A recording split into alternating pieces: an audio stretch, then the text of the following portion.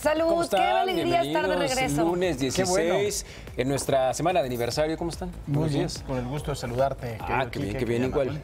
Oigan, pues vamos a iniciar estas del café con una noticia que ha empezado a generar eh, toda una polémica eh, a partir de una propuesta en este sitio change.org.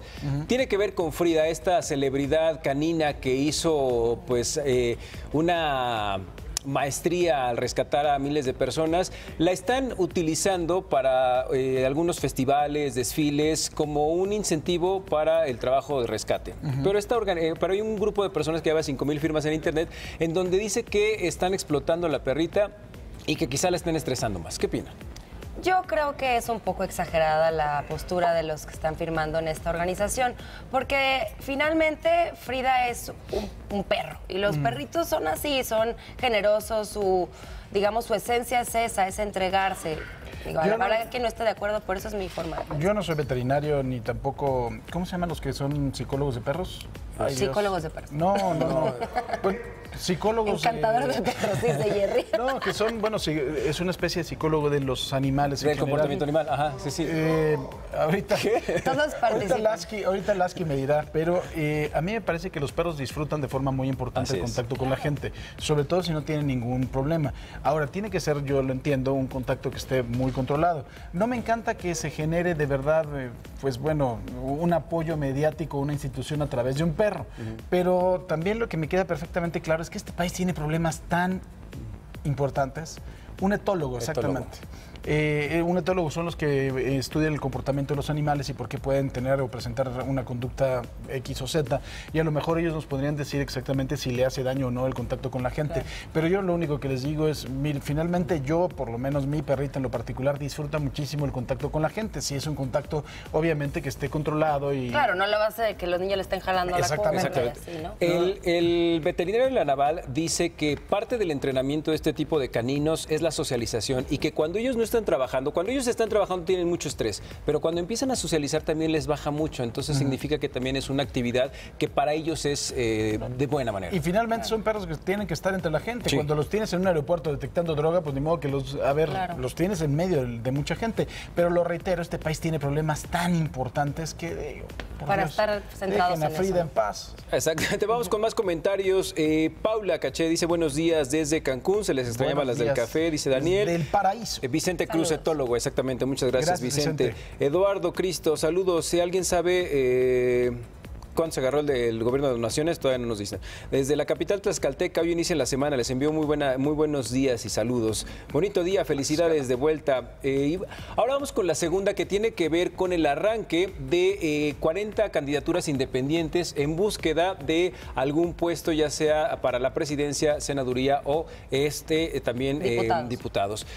¿Cuál es el objetivo? El objetivo es reunir 866.593 firmas, que es el 1% del padrón electoral. De aquí a 120 días, más o menos en marzo, tienen que entregar los resultados.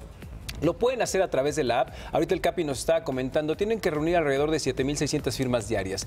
Estos candidatos, Paco, lejos de... ¿Cómo va a ser? ¿Va a beneficiar o va a afectar que sean tantos en cuanto a que el voto a lo mejor se puede desperdigar? Híjole, yo creo que tenemos que ser muy claros, ¿no? Si tú hablas de candidatos que tengan realmente una base de apoyo importante, estaríamos hablando de Armando Ríos Peter, que es ex del PRD, una figura, un senador de la República bastante notable, y por supuesto Margarita Zavala, que yo creo que finalmente el destino de Margarita Zavala será o regresar al Frente Ciudadano como candidata, o si no, integrarse a las intenciones de algún otro partido, así lo veo yo. Pero finalmente Margarita Zavala sí va a ser un factor en el cual va a jalar un número importante de votos y se los va a quitar al Frente Ciudadano. Eso me queda perfectamente claro. Armando Ríos Peter tiene una buena base, pero la tiene nada más en Guerrero. Me parece muy complejo que pueda llegar a crecer más. Dentro de los demás candidatos está el señor Bronco, Rodríguez, José, Sí. ¿cómo es, eh, ¿cuál es su nombre? ¿José Rodríguez? No, José Rodríguez es el Puma.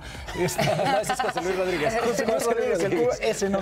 Bueno, el señor Pedro Ferriz Rodríguez, también. el Bronco ese también Pedro. se canti- se A Pedro le tengo, por supuesto, muchísimo cariño y admiración como comunicador, pero yo creo que no va a poder lograr esa cantidad de firmas, o si tiene esa cantidad de firmas después, pues no va, no va a ser el presidente de la República, pero toda mi admiración y apoyo también, por supuesto. ¿Sería ideal que entre todos los independientes quien tuviera más hicieran un gran candidato independiente? No lo van a hacer, yo creo que va a ser, es- difícilmente lo harían. Jaime Rodríguez. Rodríguez.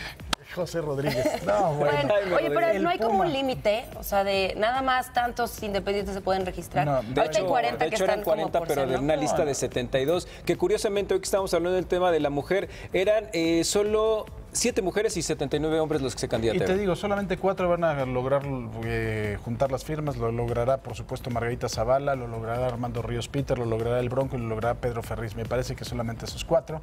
Y eh, pues yo al Bronco le recomendaría que primero, pues el desmadre que tiene en Nuevo León lo controle, sobre todo en materia penitenciaria. Pero, pues bueno.